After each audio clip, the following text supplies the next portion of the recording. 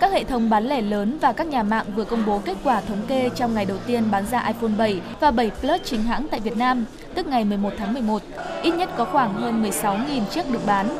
Trong đó, số lượng khách hàng đặt cọc từ các hệ thống thế giới di động, FPT Shop, Viễn thông A, Viettel Store, Cellphone lên tới hơn 27.000 máy.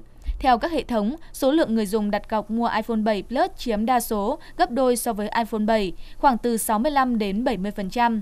Giá iPhone 7 trung bình từ 18,8, 21,7, 24,6 triệu đồng, tương ứng với các phiên bản 32, 128 và 256 GB.